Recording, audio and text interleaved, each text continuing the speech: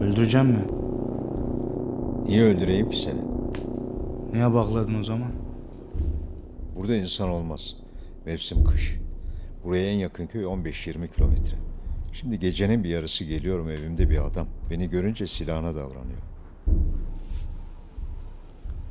Eşkıyalar. Sabaha karşı köyü bastılar. Sonra bağırışlar, çağrışlar. Ateş ettiler ama vuramadılar. Kaçtım.